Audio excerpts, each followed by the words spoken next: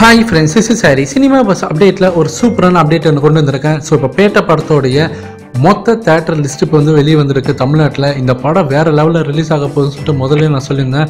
அதே மாதிரி தான் இப்போ நடந்திருக்கு. என்ன தான் பாக்ஸ் ஆஃபீஸில் ஒரு மிகப்பெரிய ஒரு காம்படிஷன் இருந்தாலுமே கூட ரஜினி சாருக்கு அந்த ஒரு தனித்துவம் எப்போதுமே இருக்குது பாக்ஸ் ஆஃபீஸை பொறுத்த வரைக்கும்.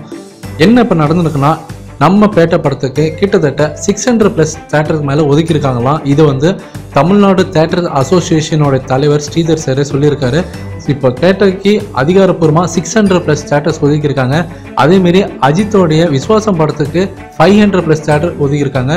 தமிழ்நாட்டில் மொத்தம் தௌசண்ட் டூ ஹண்ட்ரட் ப்ளஸ் தேட்டருக்கு மேலே இருக்குது அதாவது டேரெக்டாக ஒரு நியூ ரிலீஸ் ஆகக்கூடிய தேட்டர்னு பார்த்தீங்கன்னா thousand two hundred plus so இது ஒரு சிக்ஸ் ஹண்ட்ரட் ப்ளஸ் அது வந்து ஒரு ஃபைவ் ஹண்ட்ரட் ப்ளஸ் வருது.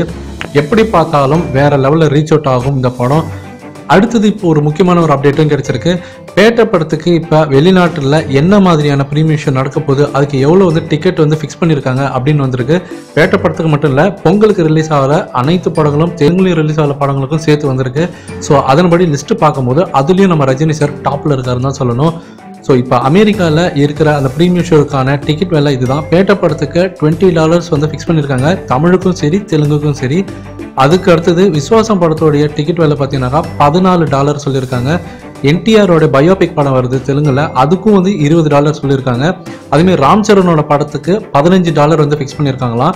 அதேமாரி வெங்கடேஷோட படமும் ரிலீஸ் ஆகுது பொங்கலுக்கு தெலுங்குல அதுக்கும் வந்து பதினாலு டாலர் ஃபிக்ஸ் பண்ணியிருக்காங்க. ஸோ ஃபேன்ஸ் நீங்கள் கீழே கமெண்ட் பண்ணுங்கள் ஸோ நம்பர் ஆஃப் தேட்டர் லிஸ்ட்லேயும் வந்து இப்போ ரஜினி சார் வந்து வேறு லெவலில் பீட் பண்ணியிருக்காரு. அந்த காம்படிஷன் வர விஸ்வாசம் படத்தோட. அதேமாரி அந்த ப்ரீமியம் ஷோவோட ஃபிக்ஸ் ரேட்டு பார்த்தீங்கன்னாக்கா இப்போ பேட்ட படத்துக்கு தான் அதிகமாக இருக்குது ஸோ ஆப்வியஸ்லி தெலுங்குலையும் பார்த்தீங்கன்னாக்கா பாலகிருஷ்ணாவோட படமும் வந்து வேறு லெவலில் ரீச் அவுட் ஆகும். அதனால் அவங்களுக்கு அவங்களோட லீடிங் ஸ்டார்ன்றதுனால அவங்களுக்கும் டுவெண்ட்டி டாலர்ஸ் கொடுத்துருக்காங்க. நம்ம ஊரில் நம்ம ரஜினி சார் தான் டாப்ன்றது நம்ம எல்லாருக்குமே தெரியும்.